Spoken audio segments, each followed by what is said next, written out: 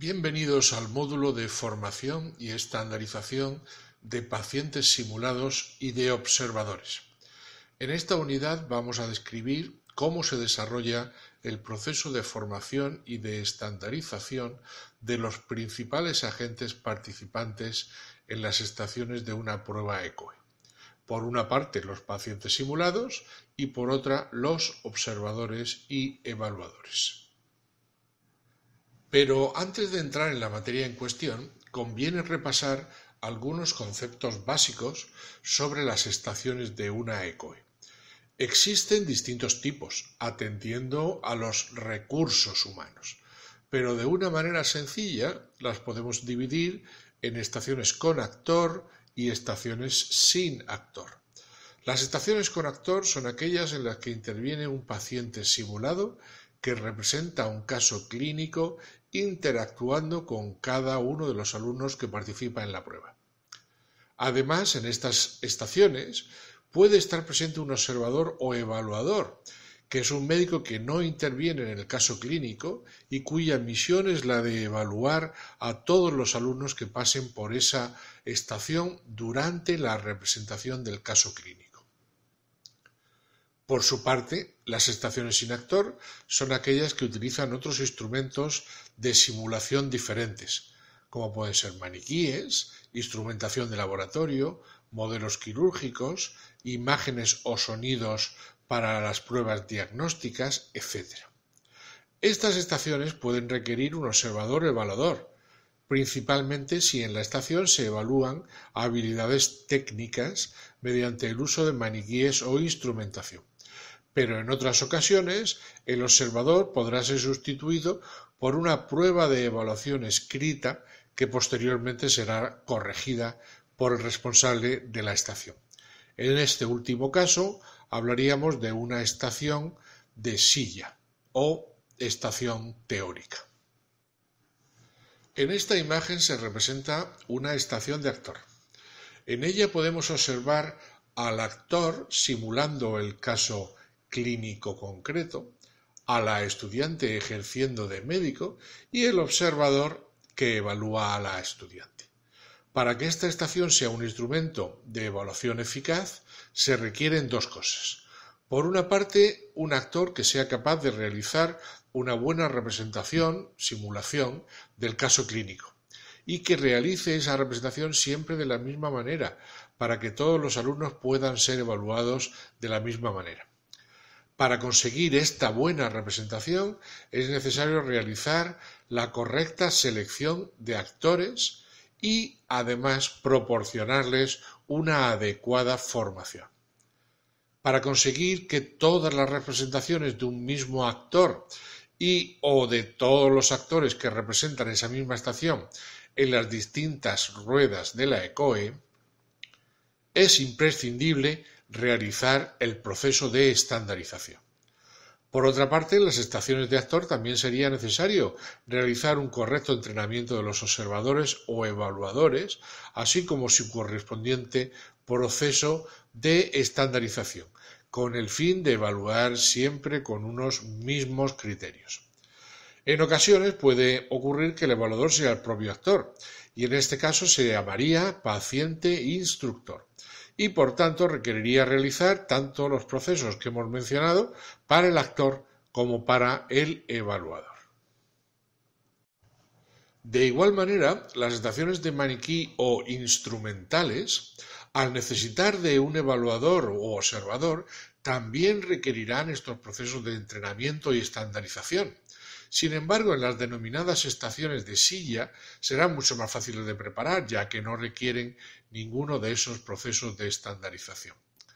Aunque conviene aclarar que con frecuencia se incluyen estas estaciones en la, SECOE, pero estarían más próximos a otros instrumentos de evaluación asociados al segundo nivel de competencias de la pirámide de Miller, que valoran el saber contextualizado y no el demostrar mediante simulación.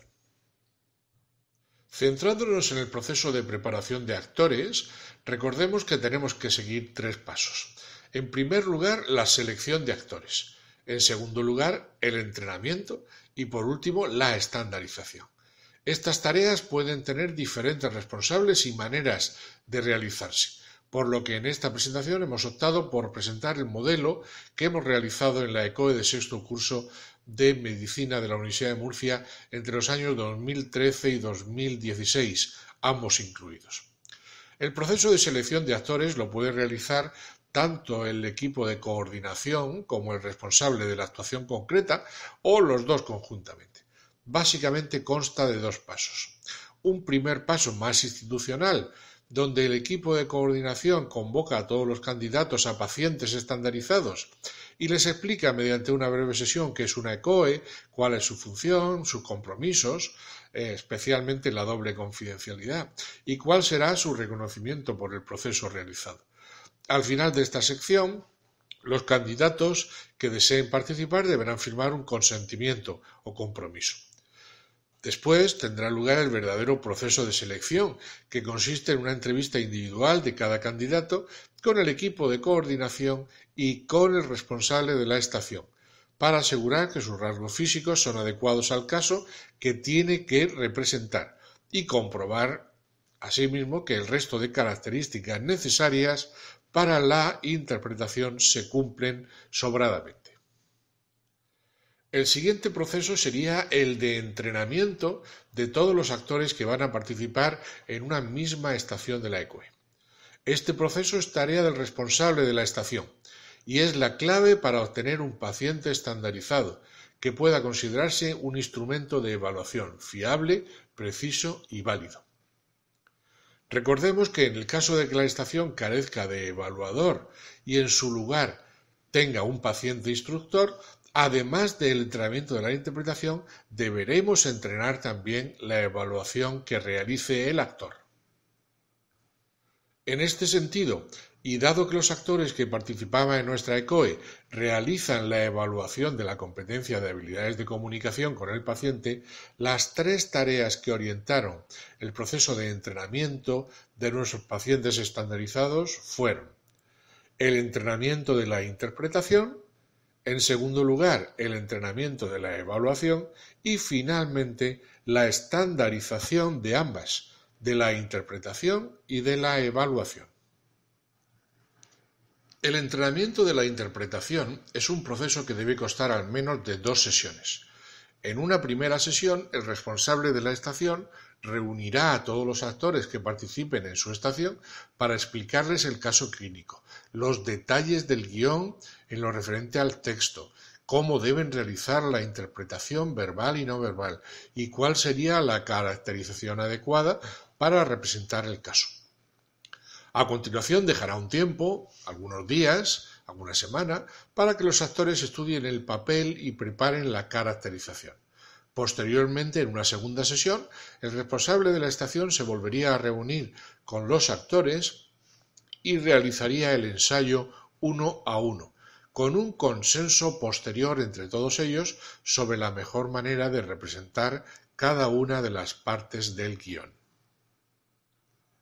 Por su parte, el entrenamiento de la evaluación se realizaría en una tercera sesión con los actores, en la que el responsable de la estación les explicaría cada uno de los ítems del listado de evaluación, los criterios para evaluar cada uno de ellos y el tiempo que dispondrán para realizar una correcta evaluación. Es importante que esta sesión se realice aparte de las sesiones de interpretación, dada la trascendencia que tendrá la evaluación en la calificación del estudiante. Por último, hay que comprobar que el actor interpreta y evalúa el caso adecuadamente y siempre de la misma manera y además exactamente igual que el resto de actores que participen en esa estación. Esto se realiza mediante el proceso de estandarización. Existen diferentes maneras de realizar la estandarización de actores, pero en nuestro modelo hemos diseñado lo que llamamos una mini ECOE inversa o contraevaluación. Este modelo permite evaluar al actor con una evaluación sumativa que le otorga una calificación sobre su propia interpretación y su manera de evaluar al alumno. Y también le proporciona una evaluación formativa ya que al terminar se le proporciona un breve feedback sobre cómo ha realizado todo el proceso. La explicación detallada del proceso es más sencilla si se ve sobre el esquema del mismo. Básicamente consiste en hacer un simulacro de la estación para realizar una prueba piloto en presencia de jueces, pero en este caso evaluamos a los actores, no a los alumnos, utilizando médicos simulados en un entorno clínico. Se utilizan entre dos y cinco médicos simulados como mínimo, cada uno de ellos con diferentes papeles. Un papel o rol colaborador, hostil, tímido o pasivo, o nervioso bloqueado, que representarán los diferentes tipos de alumnos a los que se pueden enfrentar los actores el día de la ECOE. De este modo, el primer médico simulado entra en la estación y durante diez minutos se comportará como un alumno realizando mientras el actor realiza la interpretación. A continuación se dejará el tiempo estimulado para el cambio de estación, minutos, durante el cual el médico simulado saldrá de la estación y el actor realizará la evaluación de la comunicación. Inmediatamente después entrará en la estación el siguiente médico simulado y repetirá la misma operación, y así sucesivamente. Una vez hayan pasado por la estación todos los médicos simulados, los jueces, que generalmente son los coordinadores de la ECOE y el responsable de la estación, elaborarán un informe de actitud para ese actor y para ese clínico concreto, también de aptitud. Y no olvidemos proporcionar un feedback adecuado al actor. El modelo más sencillo que hemos utilizado constaba de dos médicos simulados y tres jueces y el tiempo estimado para estandarizar a cada actor fue de 30 minutos. Pero como cada estación normalmente lleva varios factores según el número de ruedas simultáneas que haya en la COE, nuestro caso fueran tres, el tiempo estimado para estandarizar a todos los actores fue de unos 90 minutos aproximadamente. Una vez que hemos visto todo el proceso a realizar con los actores, pasamos a describir el proceso que debemos realizar con los observadores o evaluadores de cada estación. Principalmente consta del entrenamiento de la evaluación y de la estandarización de esa evaluación realizada por cada uno de los evaluadores.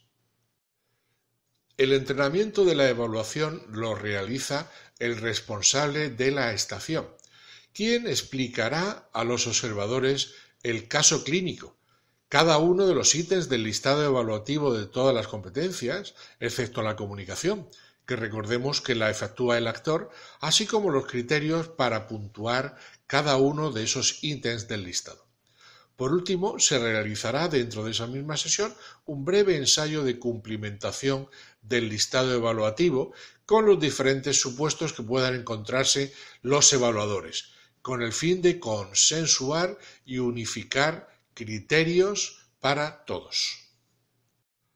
La estandarización de observadores o evaluadores se realizará simultáneamente a la de actores, y mientras se lleva a cabo la minicoe inversa, los observadores evaluadores van evaluando individualmente a los supuestos alumnos o médicos simulados que pasan por la estación, tal y como lo harán el día de la ECOE. Una vez hayan finalizado todas las interpretaciones y se haya realizado la estandarización del actor, se procederá a la valoración de las evaluaciones realizadas por cada observador por parte de los jueces. Estos elaborarán un informe de aptitud para todos los evaluadores de cada estación y se les dará también un feedback grupal con el fin de consensuar las posibles divergencias que hayan podido detectarse entre los evaluadores. Como se observa en este esquema, el proceso está integrado con el de la estandarización de actores, pero con una diferencia fundamental, el carácter colectivo, ya que se pueden estandarizar todos los evaluadores durante la estandarización de un único actor. Por lo tanto, el tiempo estimado para la estandarización de todos los evaluadores de todas las ruedas de una misma estación sería de 45 a 60 minutos aproximadamente. Para finalizar esta unidad, recordar que todos estos procesos de selección y estandarización deben tener un cronograma claro que permita realizar las estandarizaciones lo suficientemente próximas a la realización de la prueba, pero con el suficiente margen para que, en caso de encontrarnos con una estación que no supere la estandarización, podamos disponer de tiempo suficiente para mejorar el entrenamiento y repetir la estandarización. Y ya por último, os damos las gracias y os dejamos una breve eh, lista de bibliografía que deberíais consultar. Muchas gracias.